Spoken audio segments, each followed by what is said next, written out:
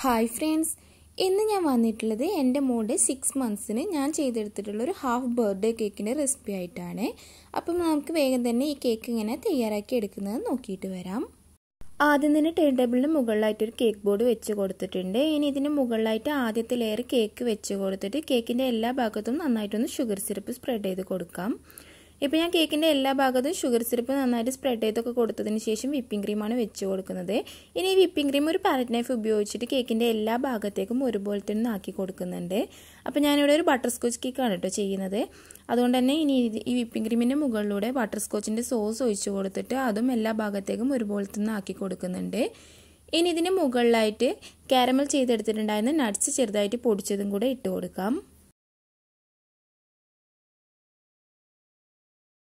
ഇനി ഇതിന് മുകളിലായി രണ്ടാമത്തെ ലെയർ കേക്ക് വെച്ച് കൊടുത്തിട്ട് അതിന്റെ മുകളിലൂടെയും നന്നായിട്ട് ഷുഗർ സിപ്പൊക്കെ സ്പ്രെഡ് ചെയ്ത് കൊടുത്തതിന് ശേഷം വിപ്പിംഗ് ക്രീം വെച്ച് കൊടുക്കാം.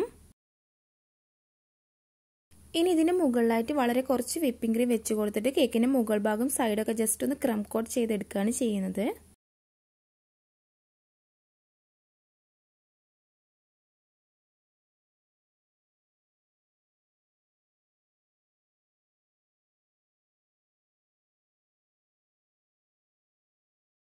അങ്ങനെ ഇപ്പോൾ കേക്ക് ഞാനിവിടെ ജസ്റ്റ് ഒന്ന് ക്രം കോട്ടൊക്കെ ചെയ്തെടുത്തിട്ടുണ്ട്. ഇനി കേക്ക് പത്ത് മിനിറ്റ് ഒന്ന് ഫ്രീസറിൽ വെച്ചിട്ട് നന്നായിട്ടൊന്ന് സെറ്റാക്കി എടുത്തിട്ട് വരാം. ഇപ്പോൾ കേക്ക് ഇവിടെ നന്നായിട്ട് സെറ്റായൊക്കെ വന്നിട്ടുണ്ട്. ഇനി കേക്കിന്റെ കറക്റ്റ് സെന്റർ നോക്കിയിട്ട് ഇതുപോലെ ഒന്ന് കട്ട് ചെയ്ത് കൊടുക്കാം. അപ്പോൾ നിങ്ങൾ കട്ട് ചെയ്തെടുക്കുന്നതിന് മുന്നേ ആദ്യം തന്നെ കറക്റ്റ് സെന്ററൊക്കെ നോക്കിയിട്ട് ജസ്റ്റ് ഒന്ന് വരഞ്ഞു കൊടുക്കുകയാണെങ്കിൽ കട്ട് ചെയ്തെടുക്കാൻ കുറച്ചുകൂടെ എളുപ്പമുണ്ടായിരിക്കും. അപ്പോൾ ഇതുപോലെ കറക്റ്റ് അളവിൽ തന്നെ കട്ട് ചെയ്തെടുക്കാൻ വേണ്ടിയിട്ട് ശ്രമിക്കുക. ഇല്ലെങ്കിൽ രണ്ട് കേക്കും രണ്ട് സൈസിലായിട്ട് പോവും. അപ്പോൾ പിന്നെ കേക്ക് രണ്ടും കൂടെ ഒന്നിച്ച് വെച്ചിട്ട് ഐസിംഗ് ഒക്കെ ചെയ്തെടുക്കുന്ന സമയത്ത് കേക്കിന്റെ പുറമെ നല്ലൊരു ഫിനിഷിംഗ് ഒക്കെ കിട്ടാൻ വേണ്ടിയിട്ട് നല്ല ബുദ്ധിമുട്ടായിരിക്കും. അപ്പോൾ അതൊന്ന് ശ്രദ്ധിക്കണേ. ഇനി ഈ ഒരു പീസ് കേക്കിന്റെ മുകളിലൂടെ ഞാൻ നല്ല കട്ടിയിൽ തന്നെ വിപ്പിംഗ് ക്രീം വെച്ച് കൊടുക്കുന്നുണ്ട്. എന്നിട്ട് ഈ വിപ്പിംഗ് ക്രീമിന്റെ മുകളിലായിട്ട് നേരത്തെ പോലെ തന്നെ ബട്ടർ സ്കോച്ചിന്റെ സോസും കാരമൽ ചെയ്തെടുത്തിട്ടുണ്ടായിരുന്ന നട്ട്സ് ചെറുതായിട്ട് പൊടിച്ചതൊക്കെ ഇട്ട് കൊടുക്കാം.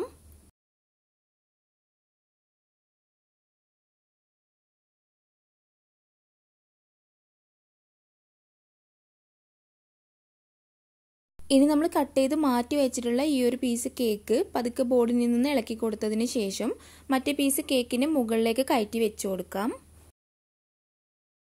അപ്പോൾ ഇതുപോലെ കേക്ക് എടുത്ത് കയറ്റി വെച്ച് കൊടുക്കുന്ന സമയത്ത് കേക്കിന്റെ പീസ് അങ്ങോട്ടും ഇങ്ങോട്ടും തെന്നി പോവാതൊക്കെ ഇരിക്കാൻ വേണ്ടിയിട്ടാണ് നേരത്തെ ക്രം കോട്ട് ചെയ്തതിന് ശേഷം കേക്ക് ഫ്രിഡ്ജിൽ വെച്ചിട്ട് നന്നായിട്ടൊന്ന് സെറ്റാക്കി എടുക്കണമെന്ന് പറഞ്ഞിട്ടുണ്ടായിരുന്നത്.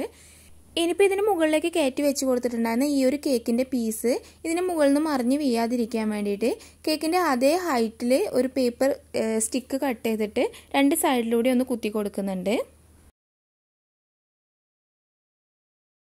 ഇനി കേക്കിന്റെ സൈഡിലൂടെയൊക്കെ നല്ല കട്ടിയിൽ തന്നെ വിപ്പിംഗ് ക്രീം വെച്ച് കൊടുത്തിട്ട് നന്നായിട്ടൊന്ന് ഐസിങ് ചെയ്തെടുക്കുന്നുണ്ട്.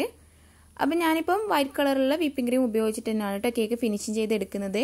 എന്നിട്ട് പിങ്ക് കളറുള്ള വിപ്പിംഗ് ക്രീം കൊണ്ടൊന്ന് ടച്ച് ചെയ്ത് കൊടുക്കുന്നതേ ഉള്ളൂ. അതുകൊണ്ടാണ് ഇപ്പോൾ തന്നെ കേക്കിന്റെ പുറത്തൂടെ നല്ല കട്ടിയിൽ തന്നെ വിപ്പിംഗ് ക്രീം വെച്ച് കൊടുത്തിട്ടൊന്ന് ഐസിങ് ചെയ്തെടുക്കുന്നത്.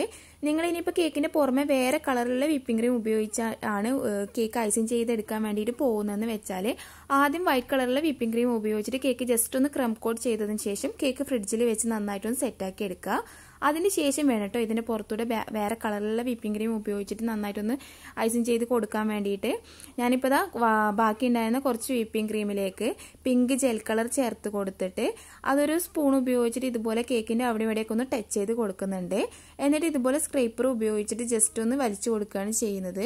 അപ്പം നിങ്ങൾ കേക്കിന്റെ പുറത്തൂടെ ഈ ഒരു ഡിസൈൻ കൊടുക്കുന്ന സമയത്ത് ഇടയ്ക്ക് ഈ സ്ക്രേപ്പർ ഒന്ന് ക്ലീൻ ചെയ്തിട്ട് വേണം ലെവൽ ചെയ്ത് കൊടുക്കാൻ ഇല്ലെങ്കിൽ നമ്മൾ ഈ ഇപ്പം വെച്ച് കൊടുത്തിട്ടുണ്ടായിരുന്ന ഈ പിങ്ക് കളറിലെ വിപ്പിംഗ് ക്രീം എല്ലാ ഭാഗത്തും ഒരുപോലെ തന്നെ അങ്ങ് സ്പ്രെഡായി പോകും പിന്നെ ആ വൈറ്റ് കളറിലുള്ള വിപ്പിംഗ് ക്രീം ഒന്നും അങ്ങോട്ട് പുറത്തേക്ക് കാണാനുണ്ടാവില്ല.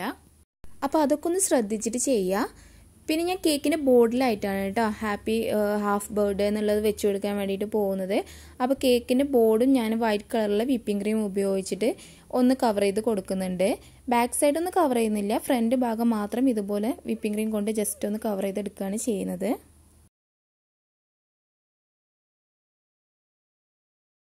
അങ്ങനെ ഇപ്പോൾ കേക്ക് ബോർഡ് ഞാൻ നല്ല ഫിനിഷിങ്ങിൽ തന്നെ വിപ്പിംഗ് ക്രീം ഉപയോഗിച്ചിട്ട് നന്നായിട്ടൊന്ന് കവർ ചെയ്തൊക്കെ എടുത്തിട്ടുണ്ട്.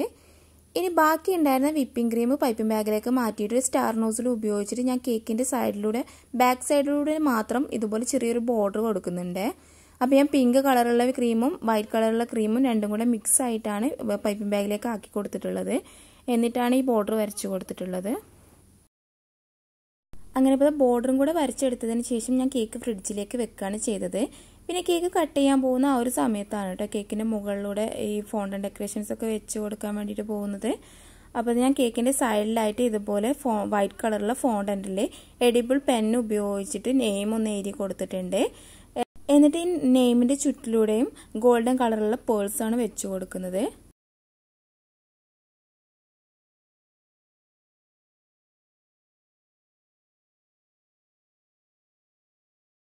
ഇനി ഇതിന്റെ ഒരു സൈഡിലായിട്ട് ഞാൻ ഇതുപോലെ ഒരു മൂന്ന് ഫ്ലവേഴ്സാണ് വെച്ച് കൊടുക്കുന്നത്.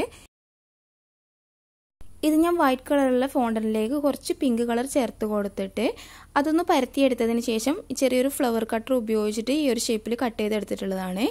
എന്നിട്ട് ആ ഫ്ലവറിന്റെ സെന്ററിലായിട്ട് ഓരോ വൈറ്റ് കളറുള്ള പേഴ്സും കൂടെ വെച്ച് കൊടുത്തിട്ടുണ്ട്. ഇനി കേക്കിന് മുകളിലായിട്ട് ഞാനൊരു ക്രൗൺ ആണ് വെച്ച് കൊടുക്കുന്നത്.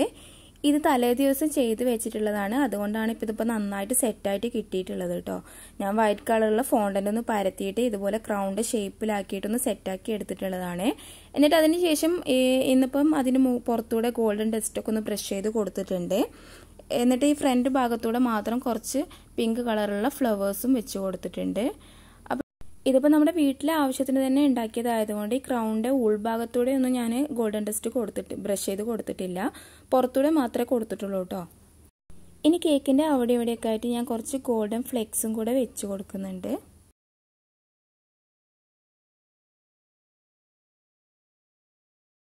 പിന്നെ കുറച്ച് ചെറുതും വലുതും ആയിട്ടുള്ള കുറച്ച് വൈറ്റ് കളറിലെ ഷുഗർ ബോൾസും കൂടെ ഇട്ട് കൊടുത്തിട്ടുണ്ട്. പിന്നെ കേക്ക് ബോർഡിലായിട്ട് ഹാപ്പി ഹാഫ് ബർത്ത്ഡേ എന്നുള്ളത് പിങ്ക് കളറുള്ള ഫോണ്ടന്റിൽ ആൽഫബറ്റിക് കട്ടർ ഉപയോഗിച്ചിട്ട് ഒന്ന് കട്ട് ചെയ്തിട്ട് അതും കൂടെ വെച്ച് കൊടുക്കുന്നുണ്ട്.